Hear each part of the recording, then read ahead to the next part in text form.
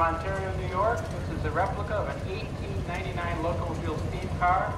And uh, it was an English kit. I built it, I don't know, seven, eight years ago. Thank you.